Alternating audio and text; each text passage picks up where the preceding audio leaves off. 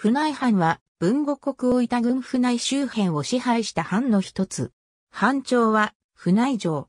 文後船井は大友氏の居城であったが、大友義宗は文禄の役で卑怯なる振る舞いをしたとされ、豊臣秀吉の怒りを買って改易された。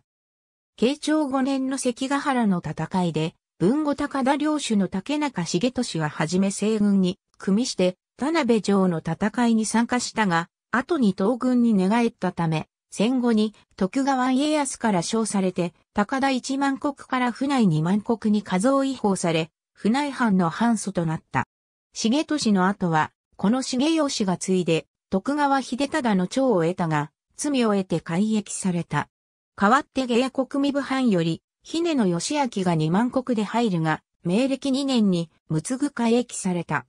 その後、義明の義理の甥にあたる荻生松平家の文後高松、藩主、松平忠明が22,200国と、徳川幕府天領の管理を受け明暦4年2月24日に入法。以後は、荻生松平家が10代にわたって支配し、明治維新を迎えた。明治4年、廃藩置県により、船井県となり、後に大分県に編入された。